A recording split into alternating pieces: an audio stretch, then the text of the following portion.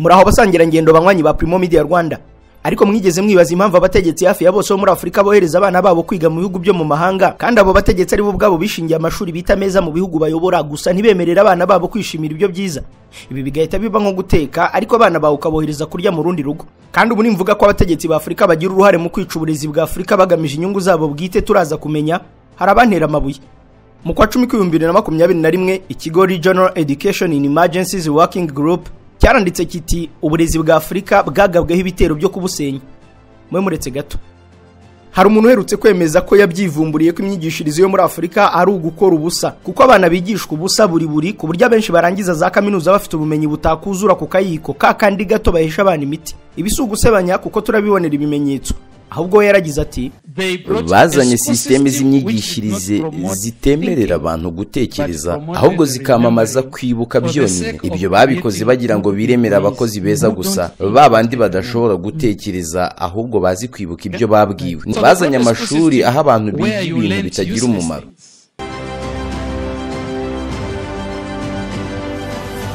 Niba bimeze bityo rero mureke muri iki kiganiro tuze kumenya icyihishe inyuma y'abategetsi bajyana abana babo kwiga imahanga. Bakagenda bakigira mu maraha n'ibiterashozi ahasigaye bakagaruka bagirwa abategetsi nk'inshabwenge kandi ibyahe byo kajya ibyo bigakurikirwa n'uko bazambye ibintu. Ingamba n'ibitekerezo byabo bikaba ibyo kuyobya rubanda babanje no gusikigingiza iterambere ryabo. Turamenya amanyanga twahishwa ari mu burezi muri afurika n'ukuntu uburezi bwa afurika ari ubukoro ni bwo mu cyayenge ku buryo abana batigishwa ibibafasha kwikura mu bukene ahubwo bagahabwa inzira zo kuguma badakize batanakennye. Kandi ubwo turanareba impamvu ireme ry'uburezi mu Rwanda naryo rishinjwa kugenda bunyamasyo. Tunabonereho no kwigira abajyanama batanga inama z'ibyakorwa n'ababishinzwe ibyo bizatuma hazaza h'u Rwanda hazaba amafu amafufu n'amafaranga afatanye n'ubufurebwe bw'ubumenyi. Mbonereho mwese kubasaba kumva iki kiganiro cyose no kugihererekanya kuko nkeka ko gishobora kumvikanisha impamvu nyamukuru umugabane wacu ukomeza kuba uko umeze murakoze. Ya ikaze hano muri samusoni n'amasaje.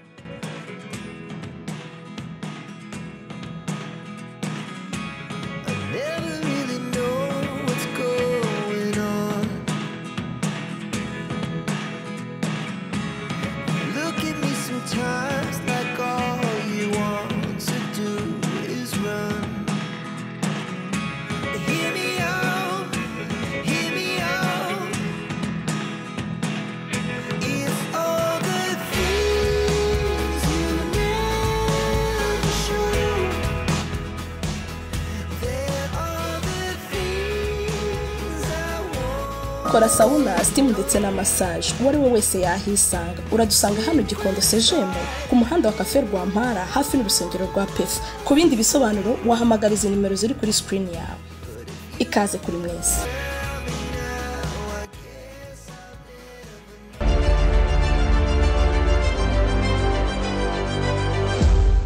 Ubundi nta kubishidikanyaho uburezi niyo nzira nyamukuru yo kugera ku iterambere kw'igihugu. Igihugu n'abategetsi birengagiza uburezi aba ibyo bakora byose bazabona iterambere rirambye ingurube yarebye hejuru. Ahubwo umwe mu banyafurika bafashwe nk'intwari y'abirabura we yemeje ko uburezi ariyo ntwaro yonyine yakoreshwa mu guhindura icyo wakenera cyose. Uburezi niyo ntwari ikomeye dushobora gukoresha.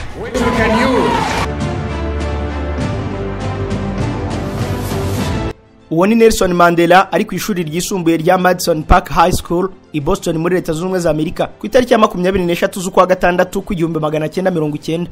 Kuri uyu munsi Mandela yavuze ko niba abanyafurika bashaka kurwana bagatsinda urugamba rwo kwibohora no guteza imbere ibihugu n'umugabane wabo ngo bagomba gukoresha intwaro yitwa uburezi bwiza. Niyo mpamvu yahavugiye ijambo ryamamaye ati uburezi niyo ntwaro ikomeye ushobora kwifashisha mu guhindura isi. Education is the most powerful weapon you can use to change the world. Ese niba koko uburezi ari intwaro yahindura buri kimwe kandi ibyo bikaba bizwi n'abategetsi bose muri afurika kuki babirengaho bakarebera uburezi bwangirika? Benshi mu bahaciye batanga ubuhamya. Nari mfite ikibazo cyo kubura urubyaro kubera ikibazo cy'imisemburo mike nari mfite. Naje kugana ivuriro eva life riramfasha ubu nanjye mfite umwana. Mu ivuriro eva life na yo ivurije ibibazo by'umwijima n'iby'amabanga y'abashakanye. Mwabyiyumviye ni ivuriro eva life rikorera nyabugogo ku mashyirahamwe rimaze kuba ubukombe mu rwanda no hanze yarwo mu kuvura indwara bakoresheje imiti y'ibimera kandi itunganyijwe neza mu buryo bw'ibinini pudre cyangwa likide hari abadogiteri batandukanye bagufasha kandi icyiza ni uko aho waba uherereye hose ku isi imiti yakugeraho cyane ko bakorana na dhl mu ndwara bavura twavugamo nk'iz'imyororokere zose kurangiza vuba no kubura ubushake. Indwara zifata abadamu zose igwingira ry'igitsina indwara nk'umwijima diyabete amara igifu asima abifuza kuva ku biyobyabwenge nabo barabafasha. Ku bindi bisobanuro wahamagara cyangwa ukandikira muganga kuri zeru karindwi umunani zeru karindwi umunani makumyabiri na karindwi mirongo itatu. Eva life icyizere cy'ubuzima. Inkuru yo kwangirika k'uburezi bwa afurika byemezwa ko yatangiranye no kwimika imyigishirize y'abanyaburayi n'abanyamerika igamije kwamamaza imico imigenzo n'imigirire yabo. Niko bimeze kuko abashakashatsi bahamya ko uburezi bwa afurika ya mbere y'ubukoroni ngo bwari bwiza kandi butanga umusaruro w'ubukungu no kwiteza imbere kurusha uburezi bwa none. Aho umuntu atangira ishuri ku myaka itatu agakubita imyaka isaguka makumyabiri ari kwiga ibyo azaruhana. Iby'uko uburezi bwo hambere y'ubukoroni bwatangaga umusaruro kurusha ubwa none ushobora kubishidikanyaho nyamara umva uko byari byifashe muri ubu buryo. Mu gihumbi magana cyenda mirongo irindwi umuhanga mu by'ubukungu. Umunyakanada ufite amamuko mu bayahudi dr. Stephen herbert yakoze ubushakashatsi ku bukungu bwa afurika bushingiye ku burezi imyigishirize n'imimerere y'abanyafurika mbere y'uko abazungu bazana uburezi bwabo. Yaje guhamya ko mbere abanyafurika bari bafite uburezi buhamye kandi bushingiye ku musaruro n'ibikorwa bifatika. Nk'ubwo umubaji yafataga umwana we akamujyana aho abariza akamwigisha bya kinyamwuga kubaza bimwe binyomoye. Umurobyi agashyira umwana we mu bwato ahasigaye akamwigisha gucengana n'imivu imihengeri n'amakuba yose y'amazi umuhinzi umucuzi gukomeza buri wese yatangaga uburezi bushingiye ku myuga ifatika. Yanahamije ko iyo umwana yifuzaga kujya gukora undi mwuga utari uw'ababyeyi ngo yoherezwaga mu muryango w'inshuti ukora ibyo akunda maze akigishirizwayo. Kuva ku rupapuro rwa mirongo itatu na gatatu kugeza ku rwa mirongo itanu rw'inyandiko uyu muhanga yise economic forms in pre-colonial ghana yavuze ko kuva ku bwami bwa ghana gukomeza n'ahandi hirya no hino muri afurika bari bafite ubwoko bw'uburezi yise apprenticeship aho umwana yigishwaga anareba neza ibyo yigishwa ibyo bigatuma atora vuba amasomo. Hirya y'ibyo ababyiruka bigishwaga amahame rusange yo gukunda igihugu kukirwanira umuco kirazira n'indi migenzo y'imibanire rusange. Yatumaga abana bagendera ku murongo wagenwe abo bakaba abahungu. Mu gihe abakobwa nabo bigishwaga imikorere n'imigirire yabo. Amasomo nk'ayo niyo dr. Herbert yavuze ko abazungu baje bahise bayita informal education. Bashaka kuvuga ko ari imyigishirize itaboneye ntigire amahame n'ibipimo byiza bituma bayamagana. Ibi tubyumve neza. Iriya myigishirize yitwa apprenticeship aho umwana yigishwa akanerekwa ibyo gukora. Niyo yaje guhindurwa mu mashuri yazanywe n'abazungu aho umwana yigishwa inyandiko akanabwirwa mu magambo uko ibintu bikorwa. Noneho yamara kumara imyaka irenga icumi yiga mu buryo abatazi ibyo yiga akabona kujyanwaho ibintu bikorerwa mu cyitwa kwimenyereza umurimo aho amara amezi abiri cyangwa atatu rimwe na rimwe akaba yanahamara atandatu ibyo bikitwa internship. Ariko iyo ushakishije igisobanuro cya internship usanga abahanga bakubwira ko ari apprenticeship. Imyigishirize karande y'abanyafurika yahinduwemo icyo wumvise niba warabwiwe ko abanyafurika bo hambere bigishaga abana babo kumasha gukunda igihugu gusimbuka kurwanira igihugu n'ibindi nk'ibyo ngo ibyo bikaba inyigisho abo bazungu baje bita informal education. Umenye neza ko ibyo ntaho byari bihuriye n'imyuga y'ubukungu igamije iterambere kuko yo yatangirwaga ku murimo nk'uko twabibonye.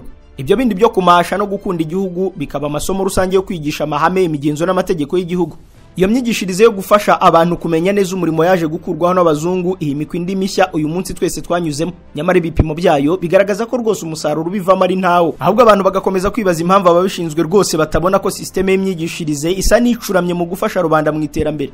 Aho rero wahita wibaza impamvu byakomeje kuzinzikwa. Uburezi butabyara umusaruro w'ubukungu bukagumaho mu myaka myinshi. Nabyo byumve gutya.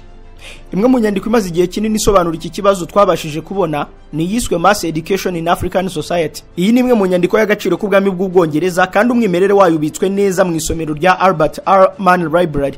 Muri iyi nyandiko yasohowe n'abari bahagarariye ubwami bw'ubwongereza mu bice bakoronizaga muri afurika bavuze ko impamvu batangije amashuri n'inyigisho bashoyemo akayabo ngo bari bagamije guhindura sosiyete za afurika zikagendera mu mirongo n'imitekerereze y'inyungu zabo. Nibyo rwose kuko ku rupapuro rwa karindwi banditseho icyo bise acceleration of social change. Aha bemeje ko ikigamijwe ari uguhindura imitekerereze ya sosiyete y'ibihugu bakoroniza bakabakuramo icyo bise social fatalism maze bakagendera ku murongo mwiza wagenwe. Ibi kubyumva twafatira urugero ku gihugu cy'u rwanda. Nubwo kitakoronijwe n'abongereza ariko imigambi y'ikoroniza yose yari imwe uretse uburyo bwishyirwa mu bikorwa ryayo. Ishuri ryisumbuye rya mbere ryashinzwe mu rwanda ni groupe scolaire dastrida. Riherereye i butare hafi ya diyoseze ya butare. Ubu ryitwa groupe scolaire officiel de butare rigahimbwa indatwa n'inkesha. Iyo usuye urubuga rwaryo bakubwira ko ryashinzwe mu gihumbi magana cyenda makumyabiri n'icyenda n'abakoloni b'ababirigi. Bagamije kwigisha abanyarwanda bazabafasha kuyobora eh, nako gukoroniza niyo tutavuga menshi twakwemeza ko amashuri yagiye azanwa n'abazungu b'abakoloni yari agamije kwigisha rubanda kugira ngo bazabafashe gukoroniza cyangwa bazabe abaturage beza bakira neza ubukoloni kuko mu nyigisho bigishwagamo mu buryo buziguye n'ubutaziguye kubaha kugendera ku murongo amategeko kudatekereza bitandukanye n'ibyavuzwe n'ibindi bigiye mu mujyi w'umugambi twabonye muri iriya nyandiko y'abongereza. Niba rero amashuri yarazanywe agamije gukoroniza waba utekereza ko noneho byahindutse ubu akaba agamije iterambere? Igisubizo cyo cyaduteranya n'abakomeye ariko reka tubifafarike gutya. Umwe mu banyafurika navumbuyemo ibitekerezo byatwumvisha icyo dushaka kuvuga yitwa richard williams. Uyu munyamerika ufite amamuko muri afurika azwi ku izina rya prince eya ni inshabwenge ryahamye. Ku itariki ya makumyabiri na gatandatu z'ukwa cyenda kwa bibiri na cumi na gatandatu yasohoye igihangano cyakunzwe n'abatuye isi. Ni igihangano gikozwe mu buvanganzo bw'umuvugo n'amashusho yakoze aninura anatamaza uburyo bw'imyigishirize ya none. Ibyo byatumye yita igihangano cye i showed the school system. Najyanye imyigishirize mu rukiko. Muri iki gihangano cye yavuze ko imyigishirize ya none iteye ishozi bityo ko kubyihanganira byamunaniye akaba yariyemeje kujyana ikirego cye mu rukiko ngo babakiranure. Mu bimenyetso yereka umucamanza harimo ko uburezi bwa none budafasha abana ahubwo bubahinduramo za robo zikurikiza ibyo bazipakiyemo nta nyurabwenge gusesengura guhwanisha no gushishoza. Reka da yongeye gushinja uburezi kwica impano n'indoto z'abana babapakiramo ibyo badashaka. Urugero umwana wishakira kubaka umwigisha ibimera ngo azabimaze iki? Uyu musore warakariye iki kibazo avuga ko umwana ashobora kurangiza afite amanota mirongo irindwi ku ijana kuri diporome nyamara ubumenyi bwatuma abasha kubaho abufiteho zeru ku ijana. Iby'uko uburezi bw'abazungu cyane cyane ubwo bazaniye muri afurika ntacyo bumariye ababuhabwa hari umuntu ukomeye ku isi watinyutse avuga ko ahubwo ari ubutubuzi. Uyu yavuze ko abana batuburirwa babeshywa ko bari guhabwa ibizabagirira umumaro kandi bari gusa n'abarogwa. Nitwa donald trump. Mutwihanganire pe. Twarababeshye igihe mwatangiraga ishuri ubwo mwari mukiri bato twabasabye kwihitiramo ibyo mushaka kwiga. Twanabasabye kwiga cyane kugira ngo muzajye muri za kaminuza. Twongeye no kubasaba kujya muri za kaminuza maze tubasobanurira ko nimujyayo muzabona akazi keza. Ibyo bigatuma muba abatunzi. Siko bimeze? Kuko ahubwo kaminuza zakozwe ku buryo zizakugira umutindi. Ahubwo ukinafite inguzanyo y'ishuri. Dore nk'ubwo abarimu bakwigisha uko bakora bizinesi ntibigeze bwa rimwe bagira bizinesi yabo cyangwa ngo babe hari icyo bakozemo. Ni ubutubuzi. It's a scam. ibyo bintu byo kuba umwarimu wakakwigishije bizinesi agomba kuba afite anakora muri bizinesi murumva bidahura na bya bindi by'abanyafurika bo hambere bya apprenticeship aho umubyeyi w'umucuzi yigishaga umwana we gucura. Ubu rero siko bimeze kuko uwigishijwe gucura mu bitabo atarakora no ku cyuma ari ugaruka akigisha mugenzi we kubikora. Ibyo rero ni byo donald trump yita ubutubuzi. Nubwo amashuri nk'aya adafite ireme n'icyo amarira abayizi afatwa nk'ay'ubutubuzi agamije inyungu zindi twigeze kubona zijyanye no gukoronizwa haba mu ntekerezo mu bikorwa n'imigirire nyamara amashuri y'u burayi aziya na amerika yo uzasanga yigisha mu buryo bwo kwereka umwana icyo gukora. Urugero uzasanga uwiga ikoranabuhanga byigira kuri mudasobwa kuva atangiye kugeza arangije. Nyamara muri afurika siko bimeze kuko hari ubuhamya bw'abarangiza ayo masomo mu yisumbuye muri afurika bataraca iryera mudasobwa. None rero ibyo byatewe n'iki? Kubona uburezi bwa afurika bwarakomeje kuba icyo donald trump yita ubutubuzi.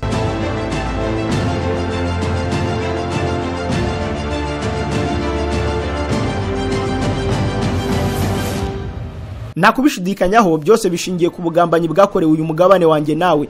Mbere na mbere nk'uko twabibonye uburezi muri afurika butangira bwari bugamije guhamya ubukoroni aho abazungu batari bagamije kujijura abanyafurika ahubwo bari bagamije kubacengezamo imigenzo yabo no gukunda ibyabo. Niyo mpamvu ibitabo n'imfashanyigisho batigeze bashaka kubihindura mu ndimi gakondo kandi si uko bari babiyobewe kuko igitabo cya bibiliya bagihinduje mu ndimi zose za afurika kuko cyo bagifata nk'intwaro yo kubafasha gukoroniza neza. Ibyo wabihakana ndamwemerera ko yanjyana mu rukiko nka prince eya maze tugakizwa n'ibimenyetso. Ubwo burezi rero bwari bukozwe mu buryo umwana atangira yiga indimi z'abakoroniza igifaransa icyongereza igiportige n'icyesipanyol ubwo wabashije kumenya ururimi bakamwamamaza nk'umunyabwenge abafaransa bo bagahita bamuha ubwenegihugu. Ku batabizi rero kugira ngo umenye neza ururimi ugomba kuba warafashe neza imico imigirire imikorere n'imigenzereze ahubwo buri kimwe cyaba nyiri urwo rurimi kuko uzakenera amagambo yo mu bisata byose by'urwo rurimi.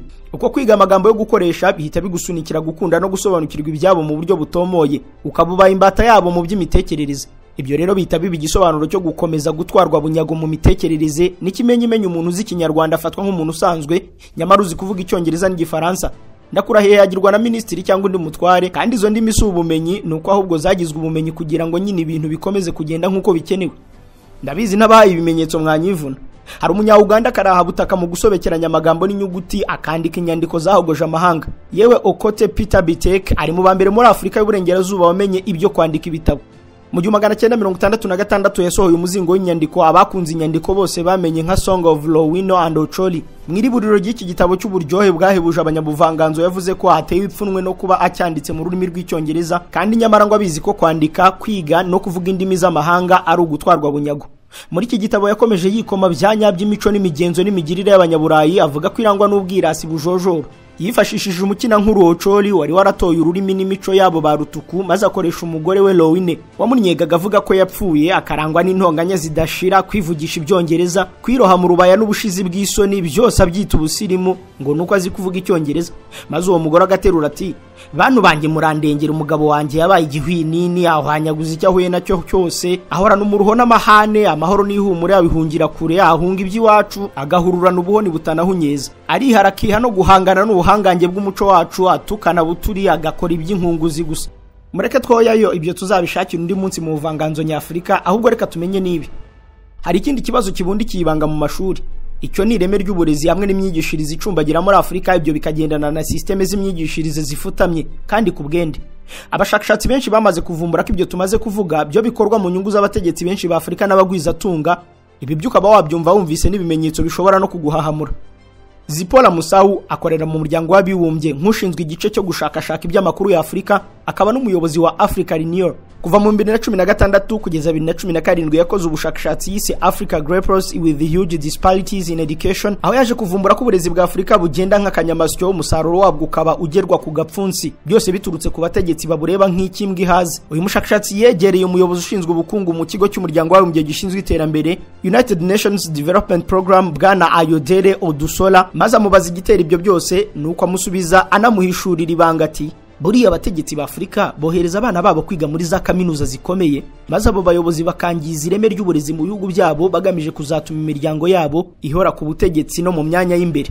Aha yabisobanuye neza avuga ko mu gihe umwana umwe avuye kwiga harvard na za oxford undi yarize muri za kaminuza zicumbagira muri afurika ngo uwize neza agomba kuza ayobora uwize nabi niyo bahurira ku kizamini cy'umurimo bigaca mu mucyo. Azamwanikira nawe umwana we amwohereze kwiga hanze azanikira umwana wa wa wundi yanikiriye uruhererekane rukomeze gutyo gutyo mu mugambi uri ku murongo. Ikibabaje rero si uko abo bana bajya kwiga bakagaruka bategeka kuko babaye bafite ubushobozi kandi babikora neza ibyo byaba ari umugisha n'iterambere kuri afurika gusa siko bimeze. Abenshi bajya kwiga iyo mu mahanga ababicungiye hafi bemeza ko bagenda bakigira mu maraha n'ibikorwa biteye agahinda no kwicuza. Bene wacu b'uruhu rwera nabo kuko baba babizi ko ari bo bategetsi b'ejo hazaza muri afurika kandi bakebeye inyungu kuri uyu mugabane bakabaroga rwose babashishikariza gukora ibitera soni gusa kuko byose birangira bahawe impapuro zemeza ko mu bumenyi bagiye kure bagaruka bazi kuvuga indimi zabo zonyine kandi izo ndimi twamaze kubona ko zagizwe ubumenyi. Maze bagaterekwa mu bwato ngo baba basare kandi ibyo kugashya wapi. Kuba atabizi uyu muvuno niwo wakomeje gufasha bo mu burengerazuba gukomeza kugenzura ubutegetsi muri afurika kuko baba bahafite abakinnyi bitoreje abandi bakabohereza baje gukorera ubutasi n'inyungu zabo ariko abanyafurika ntibabivumbure.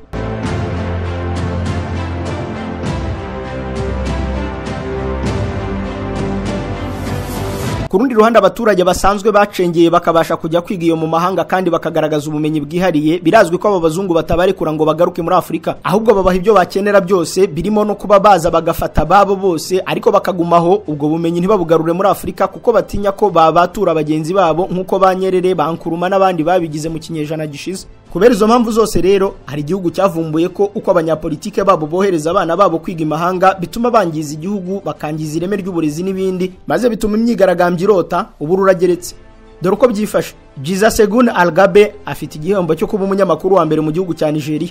Ubucukumbuzi bwe burindwa mubi. Ku itariki ya cumi n'umunani z'ukwezi kwa munani k'ibihumbi bibiri na makumyabiri na kabiri yasesenguye inkuru y'imyigaragambyo yo muri nigeria. Yiswe asu strike aho abanyanigeriya mu bice bitandukanye bahagarariwe n'ihuriro rya kaminuza muri nigeria. Academic staff union of universities ariyo asu biroshye mu mihanda basaba abanyapolitike n'abakozi bakomeye muri leta kutazongera kohereza abana babo kwiga mu mahanga ahubwo banasabaga inteko ishinga amategeko ya nigeria gushyiraho itegeko ribuza rikanahana umukozi wa leta wese wohereza umwana we kwiga mu mahanga. Keretse gusa yatoranyijwe n'inzego zibishinzwe nk'ugiye mu nyungu z'igihugu kandi mu nzira zisobanutse. Profesa michael agisafe wari umuyobozi wa kaminuza ya afe babalola university yabwiye alagabe ko ibyo nibidakorwa ngo ntihazagire utegereza ireme ry'uburezi muri nigeria ndetse no muri afurika kuko ahenshi umudera ari umwe. Iki ni ikibazo rwose gikomeye kurusha ibindi byose afurika ifite kandi ikibabaje aya makuru azwi na bake ku mugabane wacu. Kandi koko binateye agahinda ku mugani wa nelson mandela we wabivumbuye rugikubita mu gihe yari akiriho. Maze agaterura ati uburezi niyo ntwaro y'ingenzi mu gihugu. gusa birababaje cyane kubona uburezi bw'abirabura bwirengagizwa kandi rwose biragoranye kubisobanura mu magambo.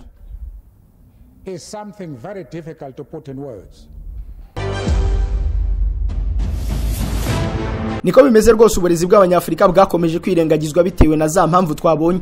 Nubwo bwirengagizwa ariko abanyafurika bo basobanuriwe ko bagomba gukunda kwiga kuko ariyo nzira yo kugera ku bukire. Izo nyigisho zacengeye muri rubanda kandi ibyo na byo bukaba bwa butubuzi donald trump yigize kugarukaho. Ni ubutubuzi kuko abana bose bo muri afurika binjira ishuri bizeye neza ko gutsinda no kurangizanya amanota meza bisobanuye kuzabaho neza gukira no kudamarara. Ibyo bigatuma rero abenshi biga amashami badakunda ahubwo bakiga iyo babona azabinjiriza amafaranga. Bakiga badashaka kumenya ahubwo bashaka gukora no kwinjiza amafaranga. Ibyo bigatuma nta banyempano mu mashami nk'ubuvuzi ubwubatsi ubuhinzi n'ubukorikori kuko aba birimo atari urukundo ahubwo nuko gusa babwiwe ko ariho bazakura ubuzima bwiza. Nyamara buriya kugera ku buzima bwiza no gutunga amafaranga byamaze kugaragara ko ntaho bihuriye no kwiga gutsinda no kuminuza. Aha sinshaka guhakana ibyiza by'ishuri ahubwo ndahakana intumbero y'abiga. N'ikimenyimenyi umwe mu batunzi aherutse kugira ati There's no need even to have a college degree. erega nta nubwo hakenewe diporome ya kaminuza habe n'iya segonderi icyo nshaka kuvuga ni iki? Iyo umuntu arangije muri kaminuza zikomeye ibyo ngo biba ari ikimenyetso ko yakora ibintu bihambaye. Nyamara rwose siko biba bimeze. Nk'ubwo iyo urebye abantu nka bill gates cyangwa se ba larry ellison na steve jobs aba bagabo ntibigeze barangiza za kaminuza.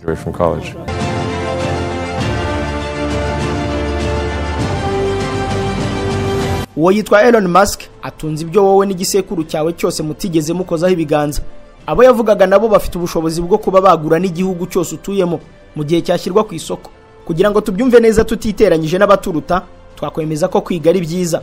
Gusa bikaba byiza urangije amashuri yisumbuye cyangwa ubonye ubumenyi bw'ibanze ahasigaye ukagenzura niba umuhamagaro wawe ari ukwiga ibyo ukabikomeza nk'umuhamagaro n'ibyo ukunda atari ugukurikira amafaranga. Kuko byarangira utanayabonye ahubwo ukabura n'ibyishimo biva mu cyo gukora icyo ukunda.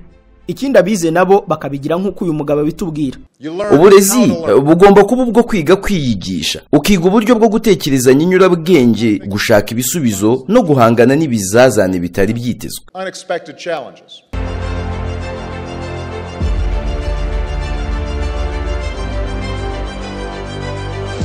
Ayo magambo yavuzwe n'uwahoze ari perezida wa leta z'ubumwe za amerika bwana barack hussein obama. Yayavugiye i memphis ku itariki ya cumi na gatandatu z'ukwa gatanu kwa bibiri na cumi na rimwe ubwo yari ari ku ishuri rya t washington high school. Ku ishuri ryashyize imbere imyigishirize ijya gusa na ya yindi y'abanyafurika bo hambere.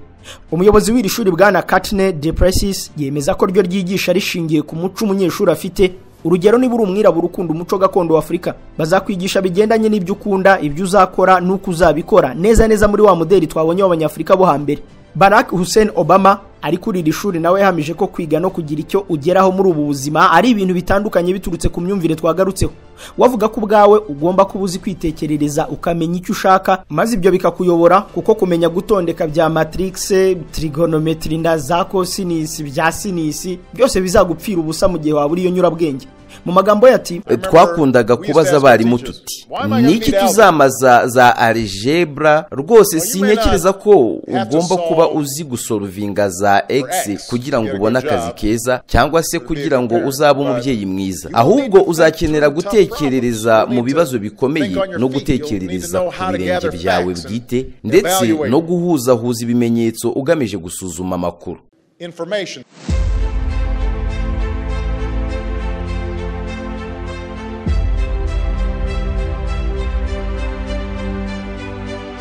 Ibyo obama na bagenzi be bahoraga bibaza banabaza abarimu babo nanjye mbiziho neza. Mu buto bwanjye ubwo nigaga mu mashuri yisumbuye ndibuka neza ko higeze kubaho ikiganiro mpaka. Kigamije gusobanura interuro is education key of good life? Uburezi bwaba ari urufunguzo rw'ubuzima bwiza.